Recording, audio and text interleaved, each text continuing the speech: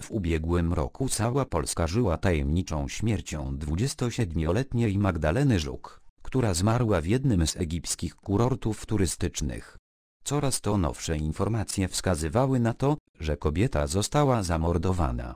Teraz portal Fakt24 dotarł do raportu egipskich śledczych, który jest ostatnim elementem układanki w śledztwie. Wyjazd do Egiptu miał być prezentem dla narzeczonego, ale okazało się, że mężczyzna miał nieważny paszport. Ostatecznie Magda sama wyjechała do Afryki.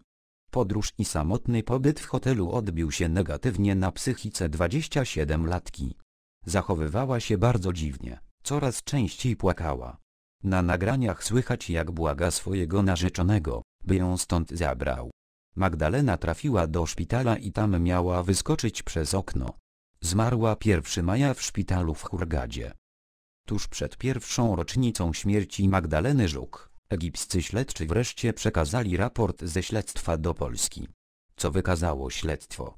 Większość informacji pokrywa się z tymi, do których dotarli polscy śledczy. Na ciele Magdy Żuk nie było żadnych śladów przemocy, wskazujących na udział osób trzecich. Czytamy na fakt24.pl. Oznacza to, że bezpośrednią przyczyną jej śmierci był upadek z okna. Ponadto, na ciele kobiety nie było żadnych ran defensywnych, które mają ofiary przemocy. Zarówno polscy, jak i egipscy śledczy potwierdzają, że w tym przypadku nic takiego nie miało miejsca i Magda Żuk nie była ofiarą przemocy, informuje fakt24.pl. Z informacji, do których dotarł fakt wynika też, że Magda nie została zgwałcona.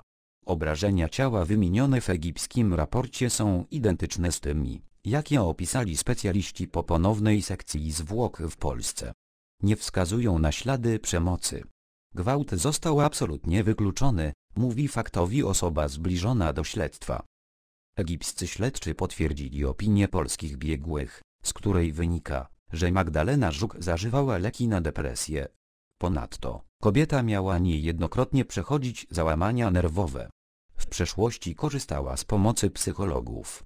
Miała też źle reagować na alkohol,